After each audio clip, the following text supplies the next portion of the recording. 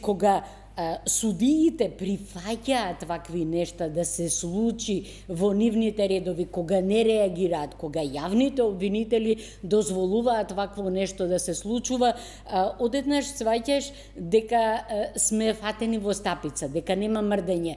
Доколку тие не може да ја одбранат собствената фела, доколку не може да се одбранат себе, како можам да очекувам дека ќе ме бранат мене? Како можам да очекувам дека ќе застанат на моја страна тогаш кога да речеме ќе бидам од едната страна јас од друга од другата страна државата. Ќе се соочите со неправда. Да. Апсолутно да. дека тие ќе застанат на страна на граѓанинот кога граѓанинот ќе дојде во судир со функционер, со држава, со структура, со институција.